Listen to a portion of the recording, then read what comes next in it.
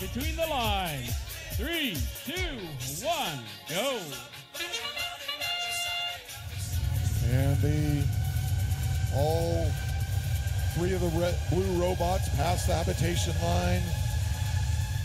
6981. That's Clockwork Soldiers makes it off the line in time. So both alliances scoring big during the sandstorm. Red has a slight advantage, 17-15.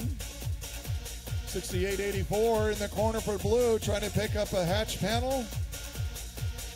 In the meantime, their alliance partner, 76-63, adding cargo to the blue cargo ship and scoring.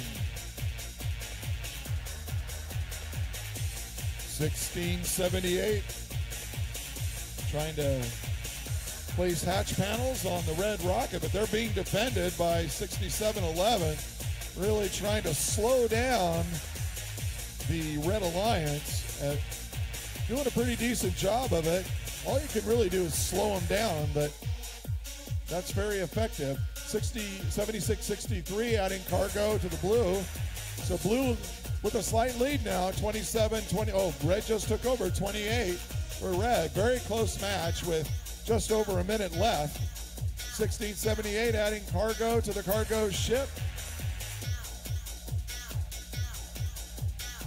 And 7663 teeter tottering around. And oh my gosh, 6981 and tangling with 6711.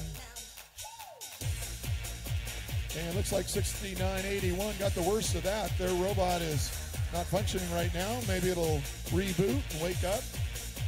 1678 grabbing some cargo. 4135 for the Red Alliance, trying to put a hatch panel on the front of the cargo ship. Let's see if they're able to do so. No, it falls to the floor. We've got 30 seconds left.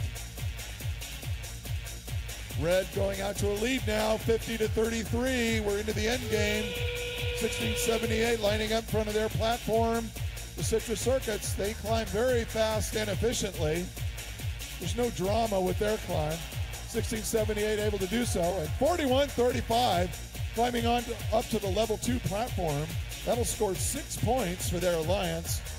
All three blue robots on the level one platform as time expires. That scores nine points for the Blue Alliance. To victory. 61 points to 42 for blue. They pick up three ranking points because they successfully docked with a score of 15 or higher, so that gives them an extra ranking point.